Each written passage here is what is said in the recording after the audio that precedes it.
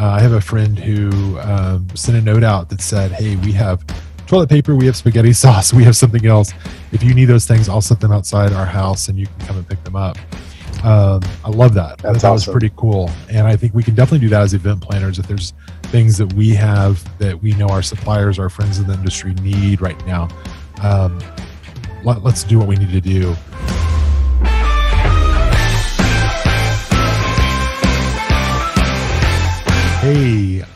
Joe Mathis, and, And this uh, is Todd Wade the Joe and Todd Show, rumbledrum.com.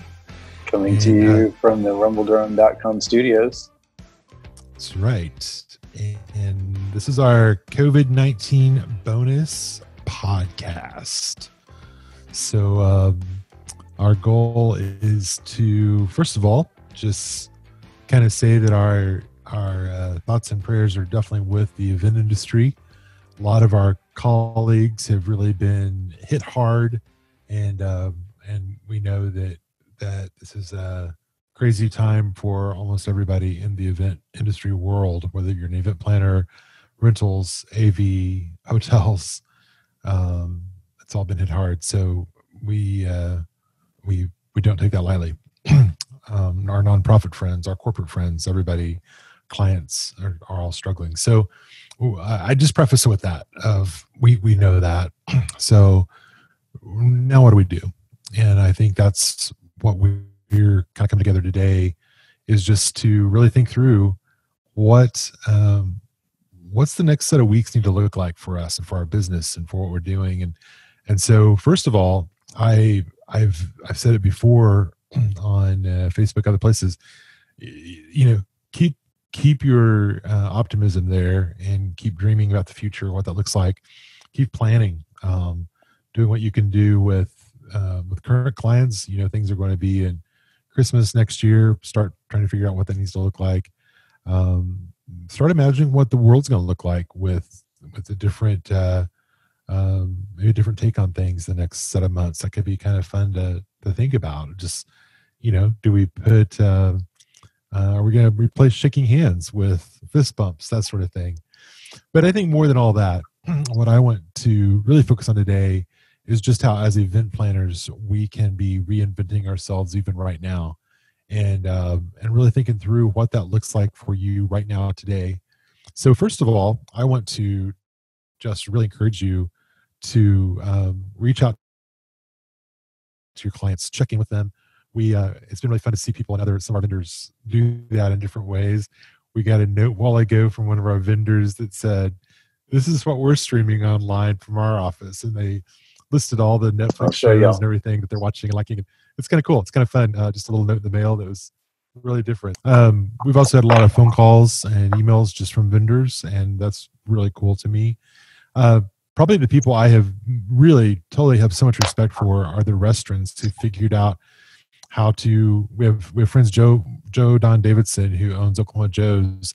Um, they figured out how to work with Sysco and sell products that are that are difficult to get um, in grocery stores how they can sell them through their restaurant supplies and kind of keep some of those supply chains going. I think that's extremely clever.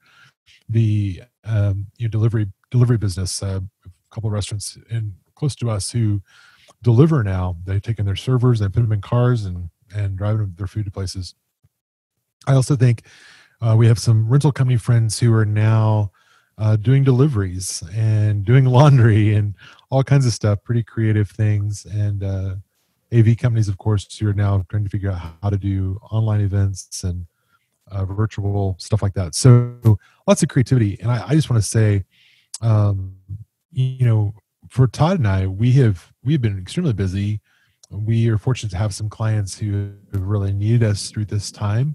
And uh, it's caused us to kind of say hey what what are we willing to do? So we've done uh, we put up signs. We've done all kinds of stuff that that we may not normally be in our scope of work but in this time has really been been pretty amazing.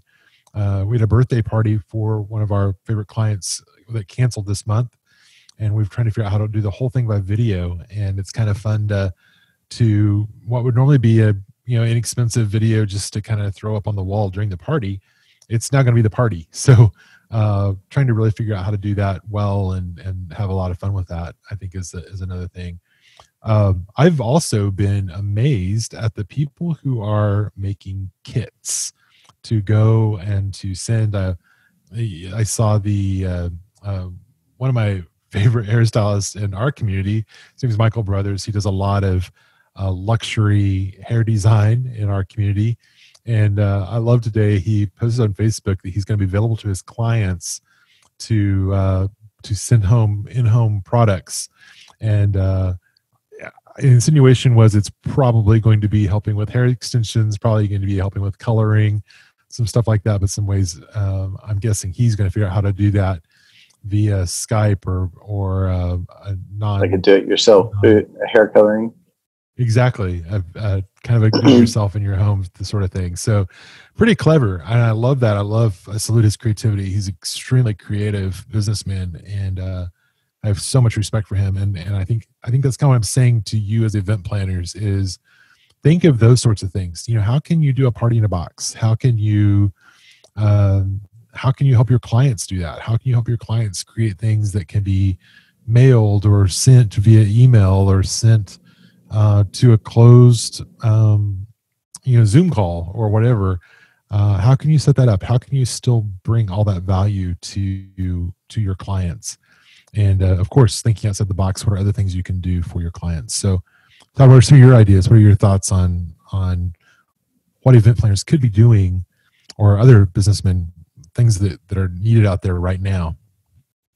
I, of course, uh, one of our teammates uh, was telling us about a, a, neighborhood party that they did uh, where they sent out, I think there was like a luau or something, but everyone got a, a kit dropped off at their door and said, uh, see you tonight at 6.30 or whatever. And um, so it had like the lei and the, you know, the hat and the flowers and um, so they all went out in their backyards and like talked over the fences or whatever at each other um, and had a neighborhood party. So um, I thought that was pretty pretty cool idea. And talking about delivering the boxes to people and um, still being able to do something together at a certain time and kind of have that community aspect of an event, uh, just with social distancing incorporated to it. So I thought that was pretty cool. We uh, we decided to send some gift cards to people this week. A couple of uh, people we'd been meaning to give a gift card to, and I learned you can do it all through Amazon and through text messages and emails, and found we could even put our company logo in there. That was really cool to realize. Um, that's a creative thing I didn't even I did not even think about because I'm kind of a card and letter and and uh, oh. handing a gift card to somebody. The other thing I, I, heard this week, reading in some emails on the special event website, was um, a lot of the event planners, you know, they work a lot with uh, kind of freelancers, people that are, um, you know, doing this kind of out of their backyard or uh, garage, office, whatever. Um, so they're they're pretty unstable as far as the business goes. But um, one Sometimes way to help them out, uh, one, yeah, and one uh, way to help those people out is to say to commit to using them uh, when events happen in in the fall or something. You, know, you sign a contract or um, you know, give them a commitment just to encourage them that this isn't all going away forever.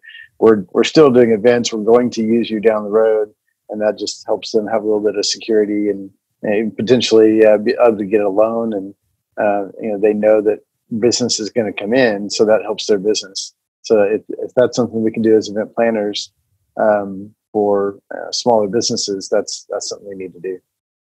I like that idea a lot. I got an email from a, a friend last night who um, who wanted to know about setting up something for event planners, kind of that support worker fund, and and not event planners, but people in the event industry.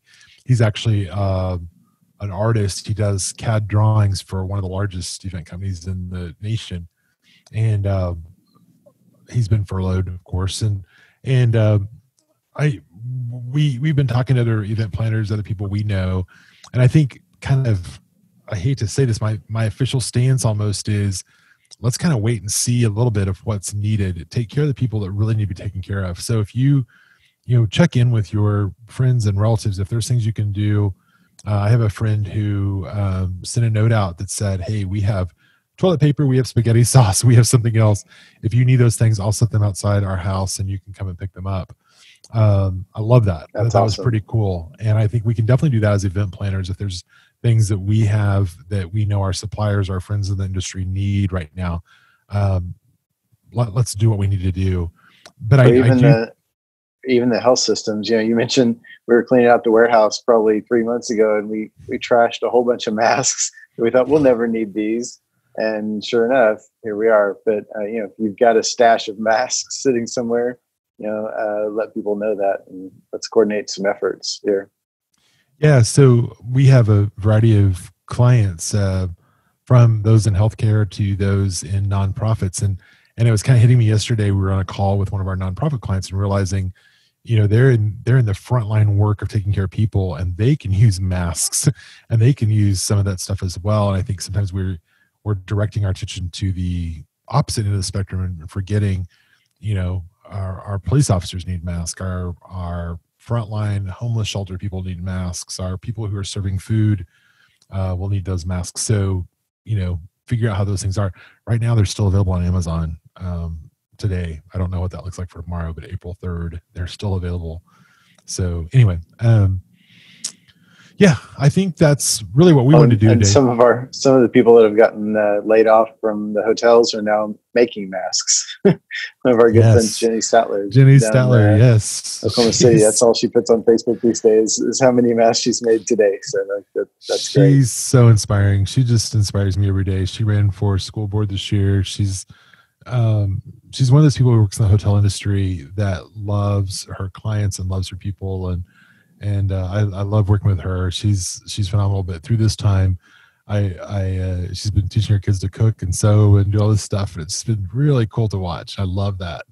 And uh, I know a lot of you are, are in that same boat doing those same sorts of things. So we'd love to hear from you uh, joe at rumbledrum.com todd at rumbledrum.com uh, let us know what you're doing in these times and and uh, either supporting your business figuring out how to keep moving forward reinventing yourself reinventing your work uh, bringing your gift and abilities to other places and then also um, what, you're, what you're doing to kill time uh, again i i think i mentioned the master's class i've i uh, did part of that this weekend thanks to generosity my brother and and uh, i hadn't really thought about putting the money and energy into that, but I absolutely love it. It's amazing. I watched a little bit of it this morning, and uh, just it's just a really great resource for any of us, and uh, um, good good stuff there. Oh. So The other thing I saw uh, on Instagram, uh, Erin Brown uh, Events is doing a kind of a rebrand of herself and uh, website and everything. And I, think it's perfect time to be doing that kind of thing. We're